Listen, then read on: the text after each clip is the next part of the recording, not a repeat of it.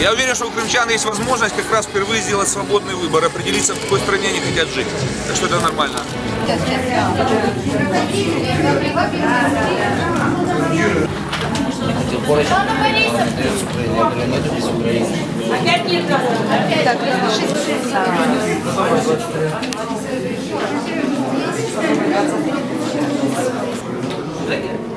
Куда хотите.